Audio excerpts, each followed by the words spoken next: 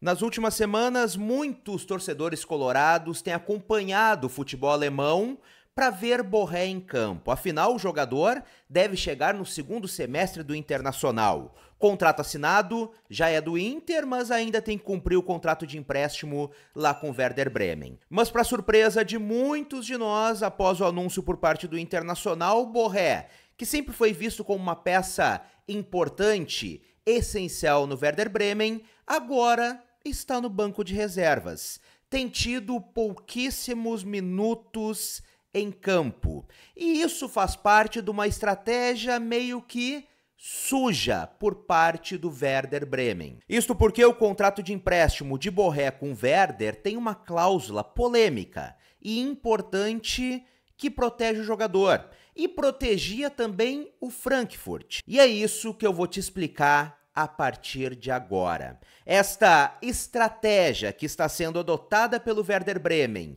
para parece que punir o jogador, mas ao mesmo tempo obrigá-lo a cumprir o seu contrato até o final.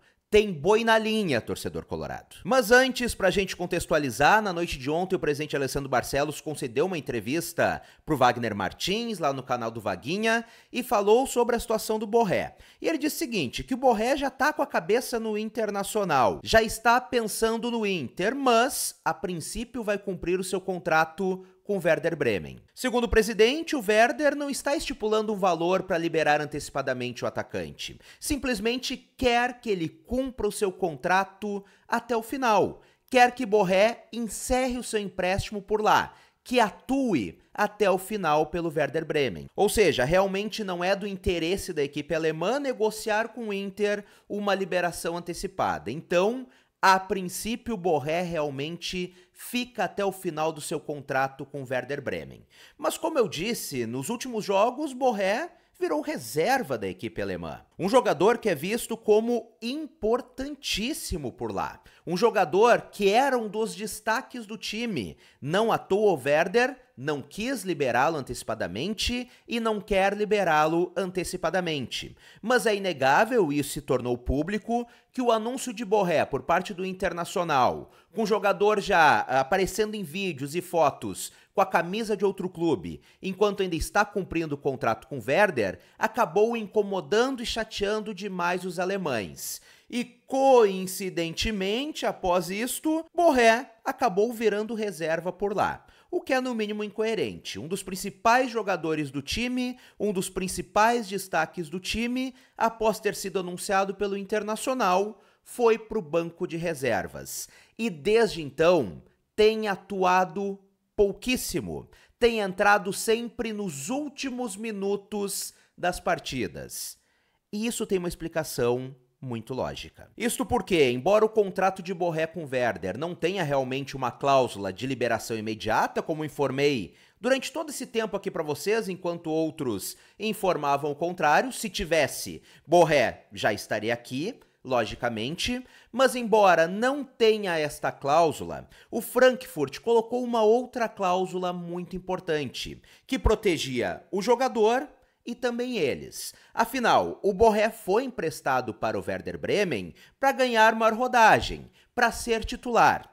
Diante disso, pensando nisso, o Frankfurt colocou a seguinte cláusula neste contrato de empréstimo: que caso Borré não estivesse sendo aproveitado pelo Werder Bremen, ou seja, não estivesse entrando em campo por lá, o jogador teria que ser liberado. Algo que é natural. Afinal, o empréstimo foi justamente para ele ganhar maior rodagem, para ele ganhar mais minutos em campo. Se não estivesse sendo utilizado, não teria sentido este empréstimo e o jogador seria liberado de novo para o Frankfurt. E aí é que está o pulo do gato.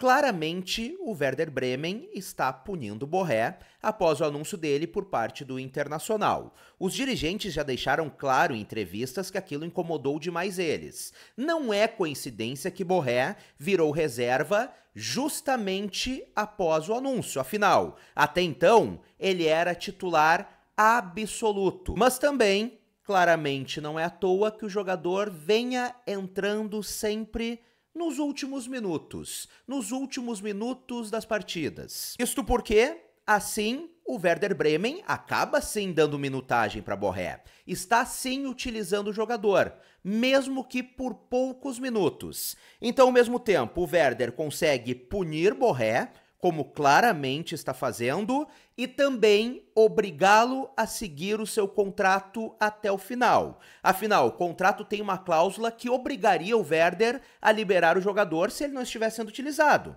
Mas ele está sendo utilizado. 4, 5, 10 minutos por jogo, mas está entrando em campo. Então a equipe alemã está conseguindo fazer as duas coisas. De certa forma, punir o jogador no banco de reservas e também utilizá-lo, assim garantindo a sua permanência até o final do contrato. Claramente é uma estratégia que a gente está vendo que é meio suja, mas está sendo eficiente. Também na entrevista de ontem para o canal do Vaguinha, o presidente Alessandro Barcelos falou sobre dois nomes, Thiago Maia e Cuejar. É inegável que o Inter está em busca de outro volante no mercado após a saída de Johnny. O Inter ainda não conseguiu repor a altura, ao menos não com um jogador com as mesmas características ou com características tão parecidas com as de Johnny. E o presidente disse o seguinte sobre o Thiago Maia, que é um nome interessante, que é um bom jogador, mas que o Inter não está negociando com ele.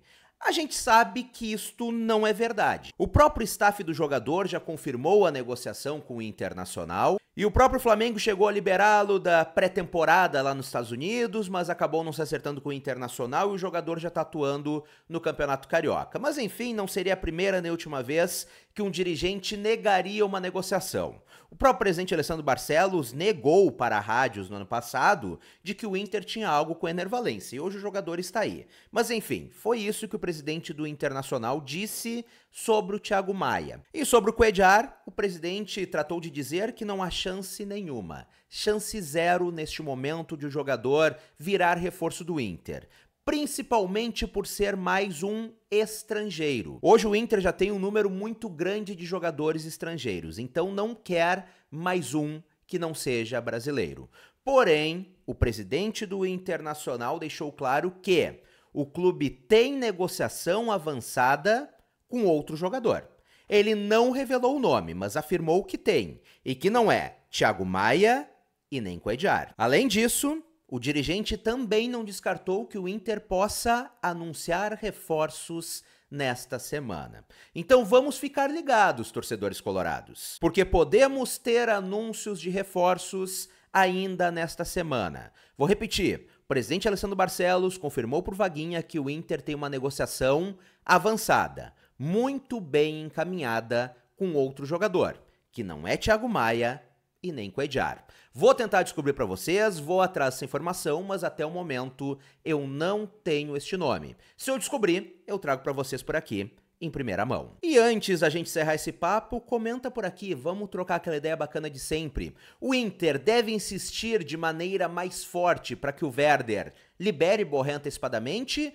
Ou estamos bem servidos com Alário, Enervalência, Wanderson, Pedro Henrique e eu nem vou contar o Luiz Adriano e o Luca por aqui.